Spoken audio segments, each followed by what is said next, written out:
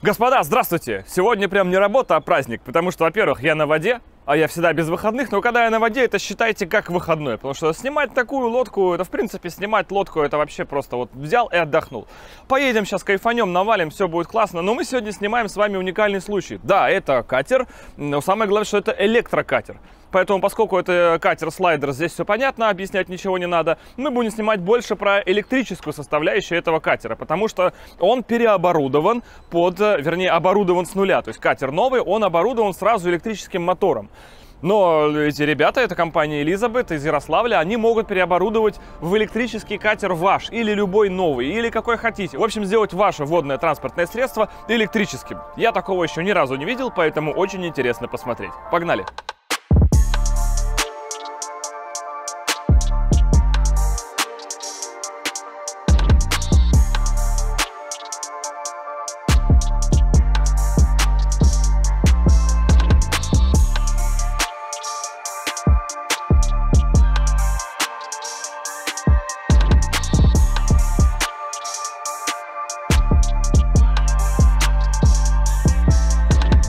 Каждом яхт-клубе, в каждом нормальном яхт-клубе есть береговое питание. Офигенные вот такие столбики, где у вас есть пара розеточек, вода, и вы можете свою лодку подключить к электричеству и к водоснабжению, и будете кайфовать на ней даже стоя у пальца. В случае с электрокатером береговое питание для вас обретает новый потаенный смысл, потому что вам постоянно, естественно, нужна розетка. Ну, если вы каждый день ходите, само собой. Вот обходили, и у нас есть обычный Type 2 разъем такой же, как у вашего гибрида, у вашего европейского автомобиля, но у японцев он будет чадовой, но ничего, купите переходничок, если надо. О чем это говорит? О том, что если вы хоть как-то знакомы с электромобилями, зарядка для этой штуки у вас уже есть. Хотя, я думаю, вы ее и в комплект положите, да, в любом случае. Более того, если по приколу, можно эту штуку погрузить на телегу и ездить бесплатно, заряжать ее. Капец, конечно, безумие, но тем не менее, бесплатно заряжать ее на общественные зарядные станции. Вот это прикол. Платишь полторашку за слип, поднял катер, короче, на телеге, у тарака устаканил его куда-то, поставил возле зарядки, зарядил. Зато халява.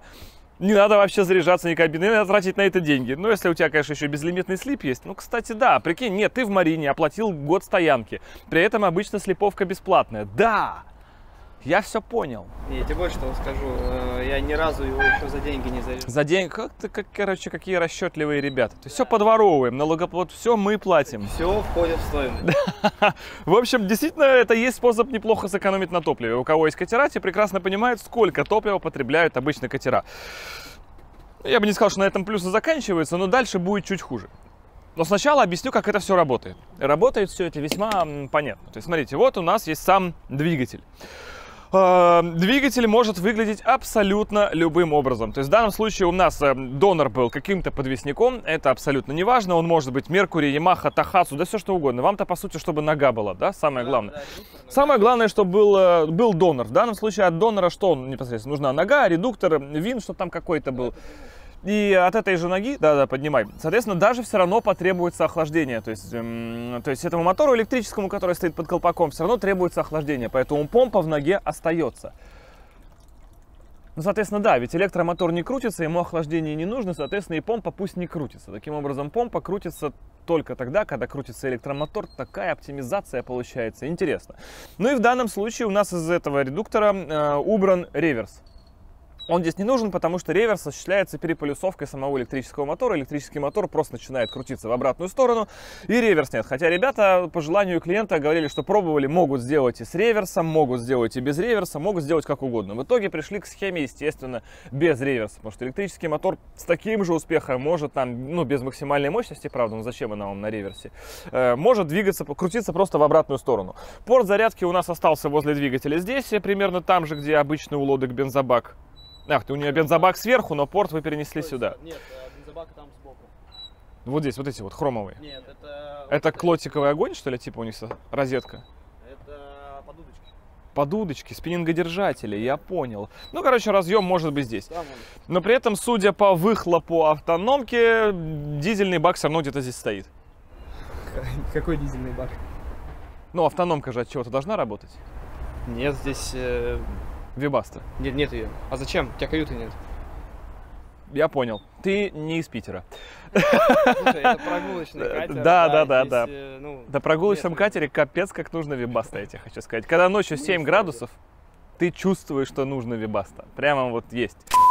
Господа, я помню, когда я в свое время врывался на YouTube, еще думал на него идти. Почему я туда пришел? Потому что не было качественного контента. Вообще было мало контента. И сейчас хочешь вода, хочешь лодки, хочешь ретро, все что угодно. Тогда ничего не было, поэтому я и пришел, чтобы привнести что-то новое. Сейчас подобная же ситуация происходит в IT-сфере. В России не хватает порядка полутора миллионов сотрудников IT. А попасть в эту перспективную сферу прямо сейчас вам поможет профессия тестировщиком, потому что это оптимальный способ стать айтишником, ведь для этого достаточно быть просто обычным пользователем ПК. Обучиться тестировке я вам рекомендую в онлайн-школе Skill Factory. Тестировщик на Python — это человек, который контролирует качество приложений, сайтов и программ. Его главная задача — все сломать, найти баги и сделать в итоге продукт лучше для пользователей. Обучение на курсе состоит из 80% практики, так что вы получите максимум полезной информации и отлично отработаете навыки. Ну а на всех этапах обучения вас будут постоянно поддерживать опытные менторы из крупных IT-компаний. После обучения карьерный центр даже поможет вам в составлении резюме и поиске первой работы, так что уже всего через 4 месяца после начала обучения вы уже можете начать искать работу ручного тестировщика. По окончании курса вы сможете зарабатывать в среднем 120 тысяч рублей, причем эта сумма будет расти вместе с развитием ваших навыков. Так что успейте ворваться в перспективную сферу IT раньше остальных, ну а по ссылочке в описании забирайте 45% скидку по промокоду Академик и начинайте свой путь в IT вместе со Skill Factory. Кстати, здравствуйте. Да. Да, молодого человека зовут Илья, это представитель компании Элизабет, как мы уже тут, я между собой шутил, что если не пойдет с моторами, можно переименоваться в ставочников. Будет Элизабет. Но в данном случае это Элизабет H есть на конце, H, вернее, есть на конце. И это уже второй катер вашей компании. Да. Первый это Чух-Чух, то есть водоизмещайка, проще говоря. Да. Там 80 лошадиных сил, Да. и мотор стационарный. Все это есть на YouTube канале у ребят, ссылка будет в описании, можете зайти посмотреть, чтобы сейчас долго не объяснять. То есть это я говорю к тому, что любой катер с любым типом размещения двигателя, даже если он будет двухмоторный, зафигачите Да. два электромотора. Да.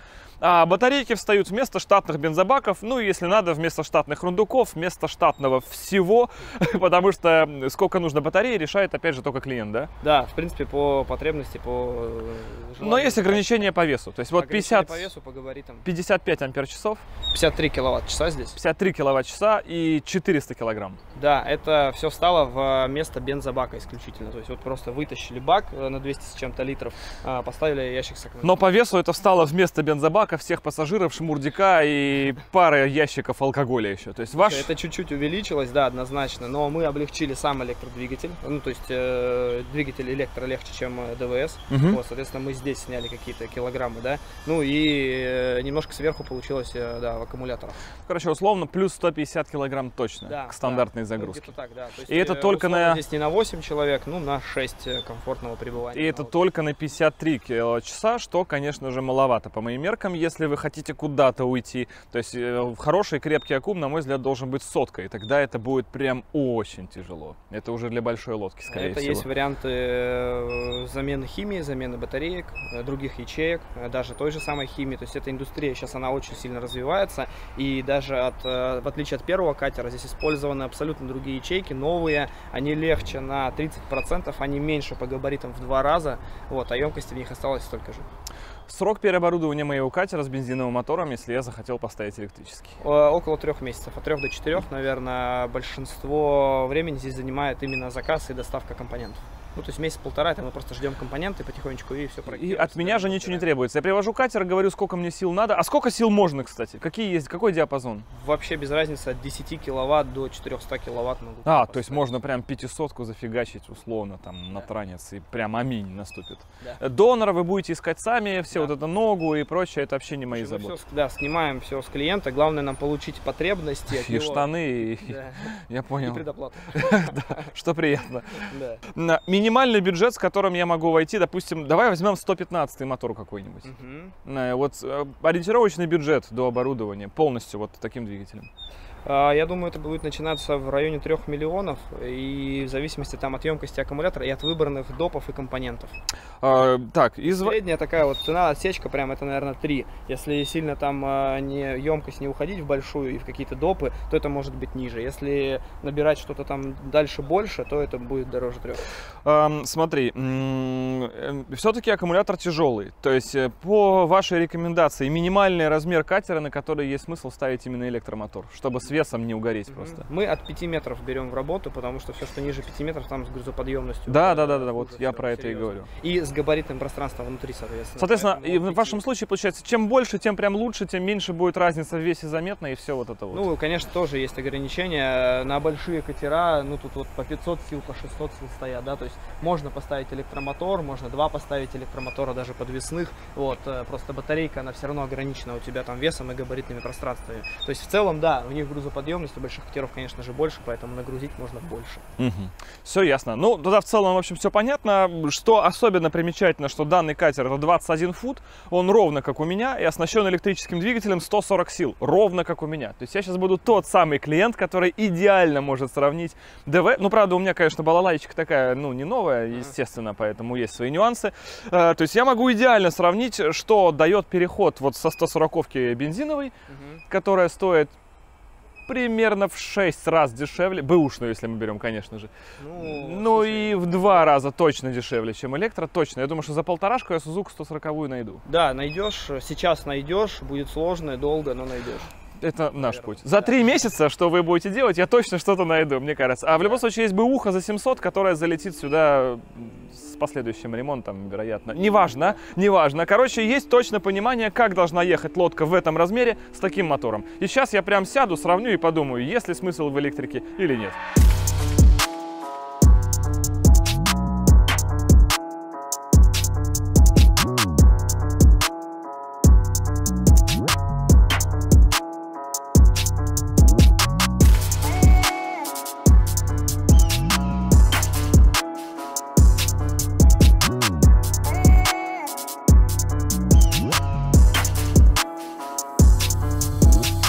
Садимся за... из места здесь очень позитивно этот бублик. Я все уже который год хочу себе нормально с бубликом купить кресло. Швартуешься, вот так сел. Все видишь, да, красавчик. Отшвартовался, хлоп, вот так сел. Блин, замечательно. Но я думаю, что я в эту зиму себе сделаю и бублик, и амортизационную стойку. Здесь нужно понимать, что поскольку катер, грубо говоря, выставочный, это демо-образец, поэтому многих, многих кнопок, которые есть участников, там супер обычно всяких допов понавешено, здесь нет, потому что не в этом соль э, данного катера. Данный катер нужен для демонстрации возможностей силовой электрической установки с данным типа размером. То есть это типа размер весьма ходовой, 6,40, если мы говорим в метрах, э, около того, сейчас в Питере, по крайней мере, большинство катеров, там от 8 до примерно 5,5 метров, соответственно, он как яркий представитель своего класса. Э, Интересно, что многих приборов нам здесь не нужно. Здесь уже на современный лад, несмотря на то, что консоль заточена еще под круглые приборы, но все, что здесь нужно, это все, что нужно и современному катеру на самом деле, это просто один большой планшет. Вот он здесь есть. Он сенсорный, не? его надо включить. А, его надо включить. Зажигание. А, да, ну и, к примеру, когда мы здесь, да, мы завелись, ну или запустились, то есть здесь э, удобно то, что в начале вот этого вот это бурление воды, сзади контролька там пошла, этого всего тоже нам не надо. Трим у нас обычный, да? Да. Ну, гидроподъем оставлен штатный от мотора донора, да вроде влезли, Думаешь? но, по крайней мере, ближе к бетону, наверное. Где же не мель? Не мель. Я понял. А Эхолота у нас пока нет, да? Не, все, все, внизу. Но мы местные, поэтому, собственно, с фарватера особо засовываться никуда не будем. И получается, в этот самый момент, сидя в такой же тишине, как я и сидел, я могу просто нажать ручку, и мы поедем. Это необычно. Скорость здесь берется просто с GPS, да? Относительно воды скорости здесь не показывается. Да, вот этот, господи, я забыл, трубочка. Как называется Да, эта да, трубочка? она там есть, Именем великого человека, я ее забыл. Ну, то есть Я тоже. гипотетически можно взять это показание Да, еще да. относительно воды, какая Да, скорость можно, будет. можно. Мы просто не делали, она там убрана. К этому же прибору и холод мы можем завести? А, слушай, это... Или это- в, это в топ, NME э, в сеть объединить мы можем его? Это топ вопросов, которые постоянно к нам Так, так, прилетают. так, так, Можно так. ли холод сюда подтянуть и все. Так. В целом можно, нужно немножко поработать, и мы это сделаем. Короче, гипотетически, да. Гипотетически можно. Ну или просто сделать к завести. NME сети подключение его к общей, чтобы все это было. Есть такая сеть, если кто не в курсе, это NMEA называется сеть, э, при помощи которой у вас ваш холод может общаться с вашим радаром, радар может общаться с камерами видеонаблюдения, камеры видеонаблюдения могут общаться еще с каким-нибудь дополнительным картплоттером, с автопилотом, и все это в одной локальной сети, грубо говоря. Все это работает по одному протоколу, под который вы покупаете разъемы, софты, и у вас вот 6 планшетов, и они все объединены, все друг на друга все могут переводить, и это все очень классно работает. Так что надо просто здесь эту поддержку сюда запилить, и Да, тогда да, будет в планах как бы есть. Че, я предлагаю на самом деле трогаться потихоньку. Давай я отойду, тебе Давай. покажу, расскажу, чего как. Вот, и Да что и тут дальше показывает? Вперед это полный газ и все, назад Да. это полный реверс. Почти. Да. Э, Когда я в предыдущий раз был в этом же яхт-клубе, э, ребята сказали тоже, давай я отойду, и мы ушли в стену. Потому что местный, как правило, здесь только я, поэтому я лучше как-то вот буду держаться руками за стекла. О, прикольно, мотор-то уже работает. Вот это класс. Как непривычно. На самом деле мне очень важно испытать два режима в этой лодке. Во-первых, это можно немножко будет зайти в канал по короткой. Каналы вы уже много все на моем канале видели, опять же, петербургские. Потому что режим холостых, вот он. Тихо. Тихо, офигеть, как тихо. Причем, да, сейчас мы выйдем из яхт-клуба, мы сразу дадим километров типа 10 в час. Это очень важный режим, потому что обычно в нем уже начинается шум двигателя, но скорости еще нет. И в итоге он шумит тупо зря, это тебя бесит. Что очень ярко выражено в каналах, где кругом бетон. И второй, естественно, это сколько максималка лупанем. Нас сейчас четверо. И я рассчитываю, ну, по крайней мере, у меня 140-я Сузуки. Вчетвером мы все легкие, идет 60-62 в таком режиме. Допустим, здесь БРК, очень сильно будет упираться морда, то есть где-то чуть меньше 60 он должен показать. Да, тихо, вода шумит. Я впервые слышу, как шумит вода. И мы теперь разговаривать будем. Да, и обычно слышишь э, именно мотор в этих переходных режимах. Владян, ты как? Если что, мы тебя ну, сразу выкидываем туда. Мы чего, направо, налево? Да я сяду. Давай. А тут э, эффективно вот либо прям в пол, а, прям хорошо будет. Можешь подрывать, Щас. в принципе. Но переходной у него тяжелый такой режим Переходной прям. тяжелый, конечно. Прям вообще он бедняга зарывается. Ну-ка, нос уже в космос смотрит. Давай подожму. Есть. Выходим. Ну какие-то вибрации все равно присутствуют, то есть нога работает. Да-да-да. Они сейчас есть в переходном режиме, потом они пропадают. Неплохо, 26, 27. Слушай, нет, сейчас звук уже более-менее похож на двигатель. Ну, конечно, сильно тише, но Ну, уже ну, ветер, у нас ветер, вода, то есть ты все равно это слышишь э, громче, чем... э, 47, чтобы вы понимали. Знаешь, в чем еще разница? Что я не понимаю, напрягается ли мотор или нет. У меня нету никакой связи вот этой по вибрациям, по шумам. Нифига себе.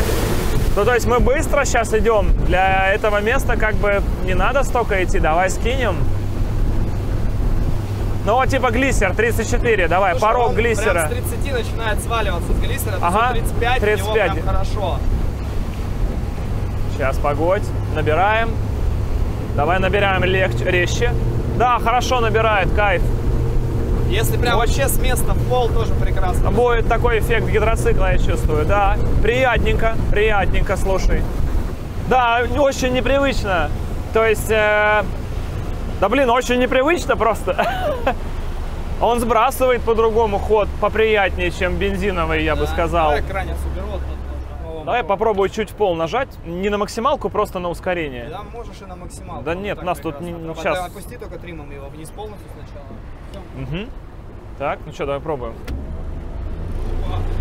Ну ты прямо уж там, конечно. Да не, я привыкший, нормально все. Я бы сказал, ускорение такое же, как у бензинового. Вот прям такое же. Не знаю, по сравнению со своей 140 я не чувствую, что он прямо вот метет. Хотя у вас еще винт грузовой. Там же плавный старт. Чего? Плавный старт же сказали. Плавный старт, да, нет, это Нет, сделано программно, то есть старт, вы да. можете сделать, но здесь быстрый старт, смотри, если ты делаешь, у тебя все равно вентилятор, если ты моментально его раскрутишь, это не водомет, он просто будет много воздуха подсасывать, и ты будешь кавитировать сильно. Да, смысла в этом нет. Просто а что ты тогда ожидал? Что прям, ну, допустим, больше низов. Мы делали больше низов, то есть мы с настройками мотора здесь игрались, меняли это все. То есть на воде это не так работает, да, немного? Э, Это хуже, да. То есть он, он у нас чуть-чуть быстрее подрывался, но плавного вот этого момента пуска старта его не было. Поэтому мы отстроили это со временем ручку газа, эту отстроили и мотор, так, чтобы все-таки это работало правильно и приятно. То есть, э, Владян, я вот тебе объясняю, если ты хочешь на воде больше низов, ты ставишь или винт больше, типа Бигфут так называемый, который чисто лопасть больше, или ты переходишь на водомет. Потому что а, тот же винт, если ты его просто моментально раскрутишь под водой, он закипятит воду и все. сейчас все больше и больше становится так называемых рекреационных зон. Некие экологические зоны, если хотите, в которые вам вообще запрещено заходить на двигатели внутреннего сгорания. И лодка, сертифицированная как электрическая, может туда заходить. Это и не рестовый период, опять же, и просто некие экологические рекреационные зоны. Поэтому сейчас та же компания BRP, например, в следующем году или, по-моему, в этом уже представляет первый электрический гидроцикл. Этим же также пользуются всякие там вот эти электрофойлы Да. а, и прочее все электрическое. То есть есть куча озер, э, в том числе в Ленинградской области. Большинство из озер, они в принципе закрыты для техники с двигателями внутреннего сгорания, то есть для моторных катеров. И вот здесь наступает офигенная пушка, что в какой-то момент вы сможете зайти на ней туда, куда не зайдет обычный традиционный двигатель внутреннего сгорания. А с каждым годом этих моментов будет все больше, они неминуемы. Еще офигенный плюс по сравнению с бензиновым мотором. А, Когда ты на бензиновом моторе идешь, и ты хочешь выходить на глиссер, у тебя есть момент максимального сопротивления винту. Через это ты добавляешь оборотов, ты вышел на глиссер, обороты подскакивают вверх, потому что винту стало легче. Здесь такого нет порога. То есть ты, по сколько на машинке поставил, он столько и держит. То есть он же машинку-обороты завязывает. Или целом- именно машинку мощность. Ну, слушай, там То есть через датчики это все у нас через определенная работа. Короче, вот этого ощущения нет. И, например, когда ты с глиссера проваливаешься, бывает, смотри, ты на моторе выставил 3200, но этого мало для глиссера. Ты с него проваливаешься, и мотор падает, соответственно, тоже там, бывает даже в 2500, там 2700, потому что ему становится тяжело. Здесь за счет огромного запаса по моменту у электродвигателя такого нет. То есть начинается эффект э, Теслы, э, компьютерной игры. Ты сколько кнопочкой нажал, столько дает. Вот эта синтетика, которая в данном случае позитивная. Так, все, мы в фонтаночке. Максимально разрешенная, по-моему, 15, но на самом деле я вам хочу сказать по секрету, 15 для фонтанки это вот. Ты посмотри назад. Ну вот мы не нарушаем, но это садомизм, то есть как бы садомия. То есть если мы сейчас, ну там будут какие-то корабли, нас просто застрелят. Поэтому при разрешенной 15 надо идти 10.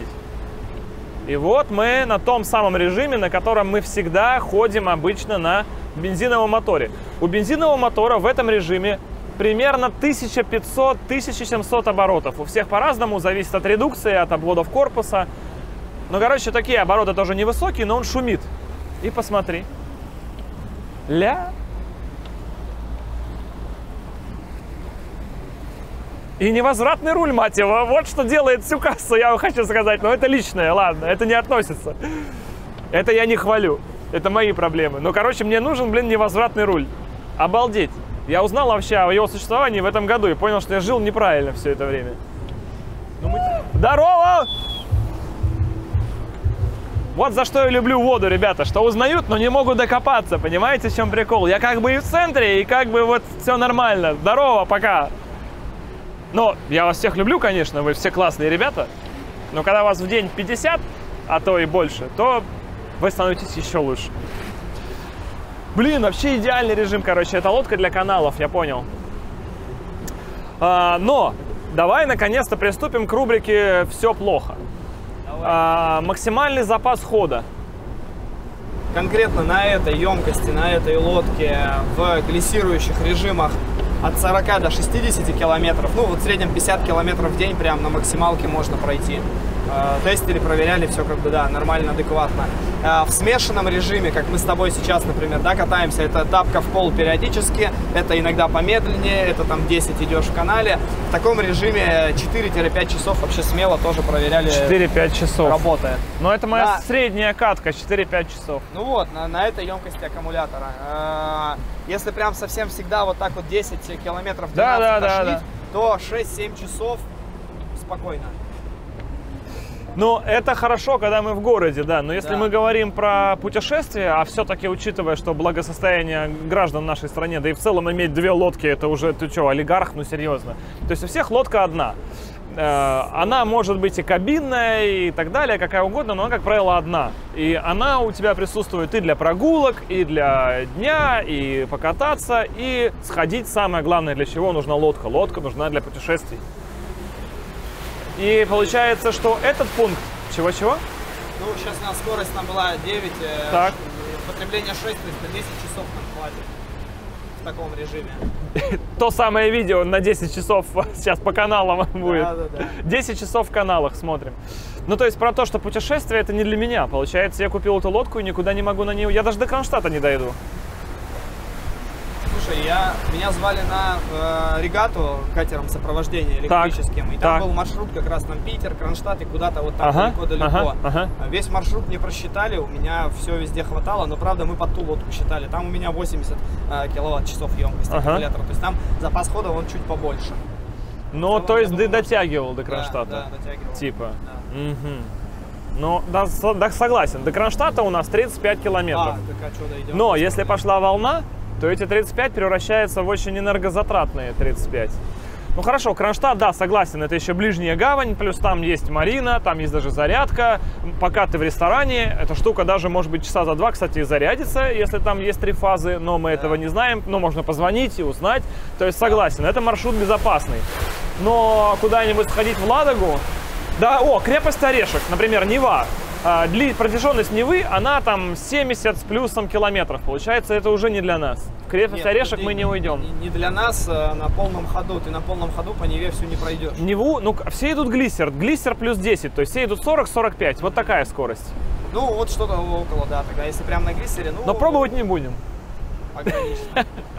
Я понял. Вот это и есть, недостатки. Ну, ну. Изменения емкости, э, изменения аккумуляторов, ячеек, химии. Ну, то есть сотка. Мне видится, что емкости 100 вот киловатт-часов. Как у топовых электромобилей. У них же всех около 100. Да, сейчас, да. И то есть здесь- от 70 начинается, до 100 с небольшим заканчивается. Ну, топчик всегда 100. Да. Там Тайкан, Тесла, максимальная P100D та же, или Plates, Да. или если мы берем... А, да, да, и Трон максимальный, он тоже, по-моему, 90 у него, если не ошибаюсь. То есть все около соточки. Соответственно, и здесь что-то надо. Но в этом размере нам сотку не запихать, это V700. Ну, хорошо, если вы оптимизируете вес аккумулятора, даже если он будет весить 600, это все. Но я бы под это дело немножко другую лодку, да, взял. Наверное, Какую, побольше, например? Побольше, метров уже, чтобы она была 7-7 с небольшим. То есть что-то типа 24 фута Да, какой-нибудь. ну, под, под большую емкость аккумулятора. Просто здесь оптимально, ну, наверное, до 80 можно сделать в оптимальный вес, в оптимальный габарит, до 80 киловатт-часов. Конкретно на таких корпусах, там, 6,2-6,5 метров.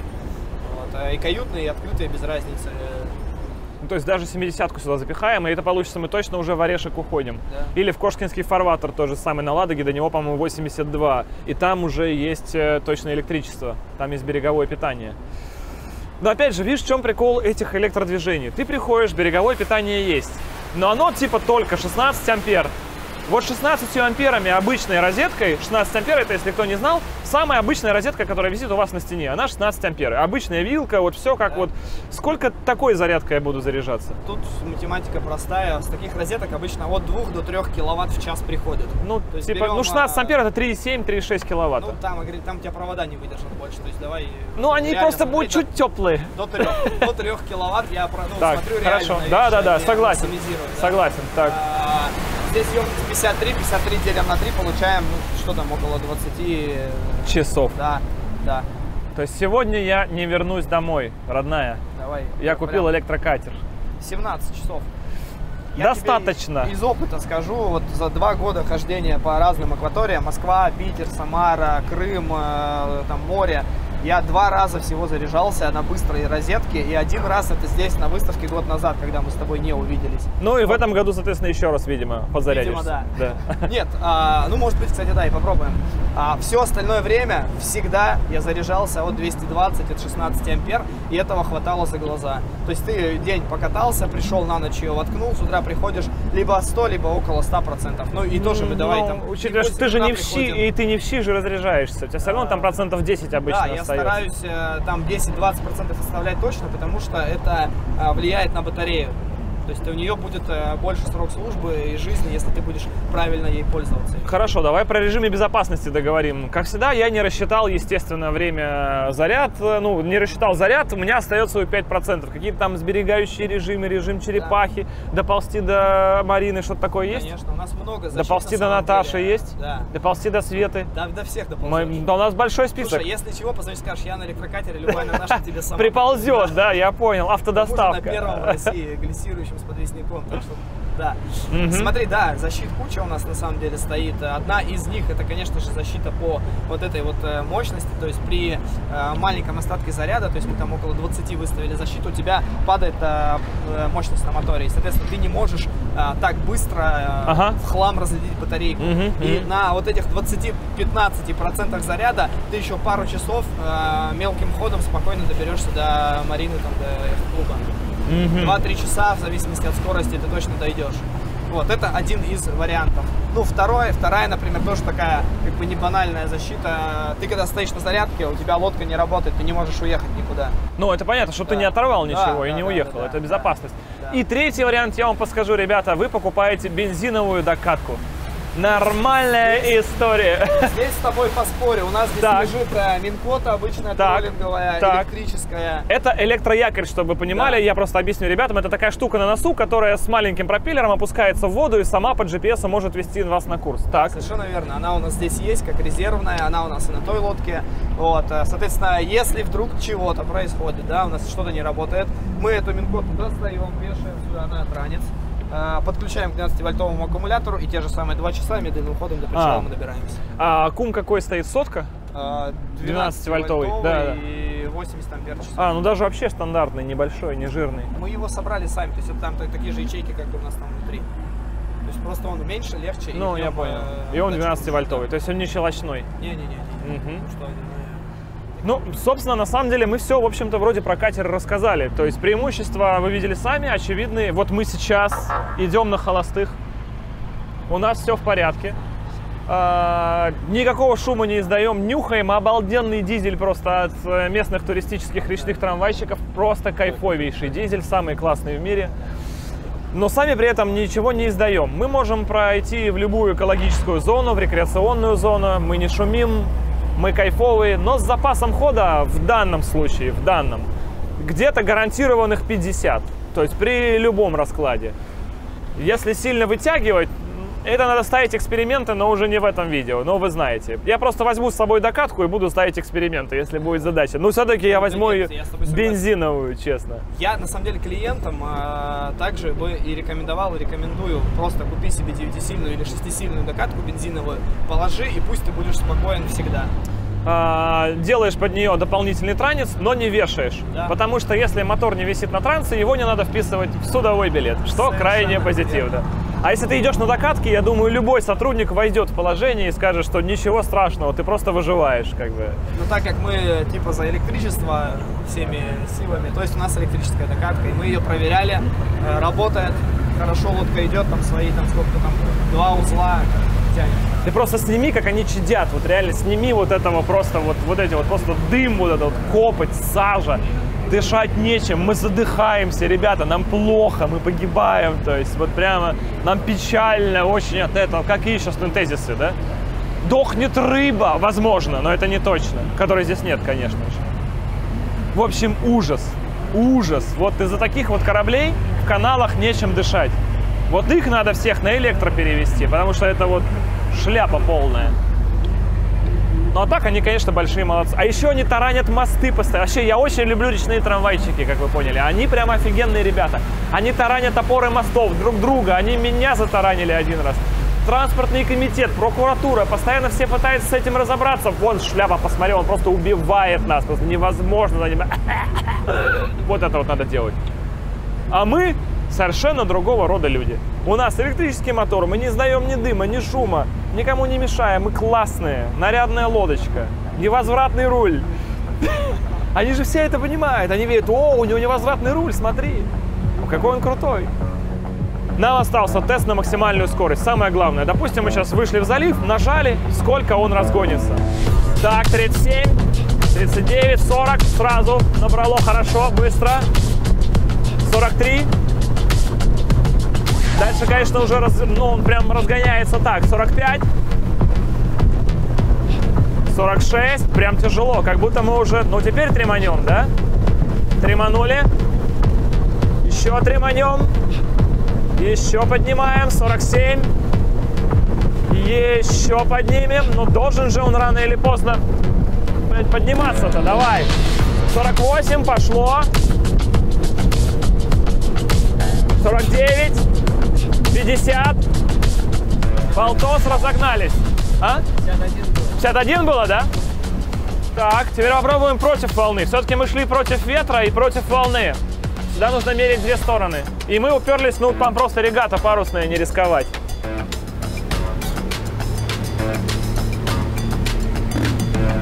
Так, 34, 35, поднимаем.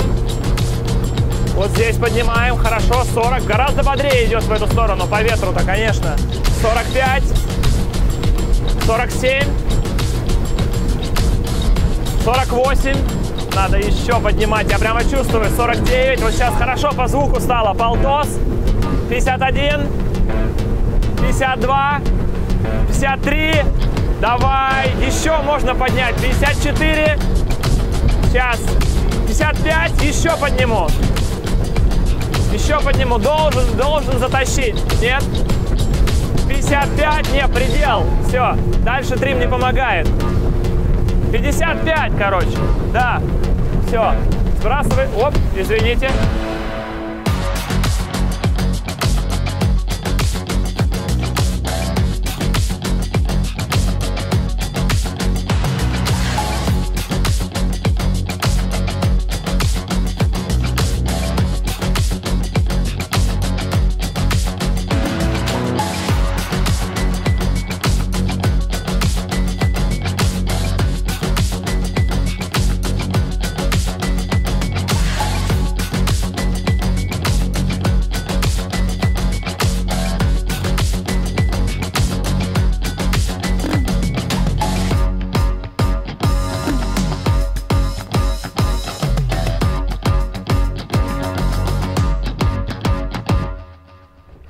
Мы маневрируем, и мы заведены, если кто не знал. То есть мы не просто болтаемся по ветру, но при этом никак... Блин, я не могу к этому привыкнуть. Это очень удивительно. Если бы это еще и было дешевле, ну, со временем, конечно, станет все это.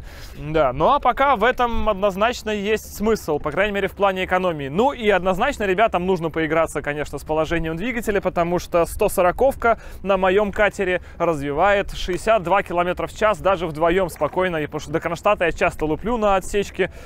И это нормальная история. На 115 моторе тоже мой подобного размера катер, такой же, как у меня, развивает все равно 60. Здесь 56, 57, да, мы сегодня видели. Да то же самое, я думаю, будет. Ну, попробовать можно. В общем, лосом сейчас попробуем. Если что, титрами вставим, получилось или нет. Сейчас они убьются там, погоди. То есть, а, кстати, что еще забавно на электролодке, что ты всегда как будто заглушенный. То есть мы плывем, я слышу твой мотор, мы плывем, я слышу, как где везде гидроциклы ходят. Я всех слышу. Обычно ты слышишь свою лодку, когда плывешь. Ну или ходишь, кто, кто как больше любит. Здесь ты всегда слышишь всех остальных, потому что сам ты, кроме брызг, ничего не издаешь. Это, ребят, офигенно. Так что э, спасибо огромное э, компании Элизабет и лично лично за то, что привезли лодку, предоставили, покатались, потому что всегда было интересно, никогда в жизни не катался на электрических лодках. И как показала сегодня практика, вот мы сколько катаемся, по-моему, еще 50% даже не израсходовали. Хотя мы мерили максималку, мучили по-всякому разному, но еще пол аккумулятора у нас спокойно в запасе. А, Ссылочки, естественно, и контакты все будут в описании. Если захотите переоборудовать свою лодку или построить новую лодку с электрическим двигателем, неважно, стационарный он, навесной, подвесной, Колонка, водомет, вал-линия, все. Короче, что бы вы ни придумали, это можно электрифицировать в компании Elizabeth. Так что обращайтесь. Спасибо, что смотрели это видео. Огромное вам всем удачи и пока.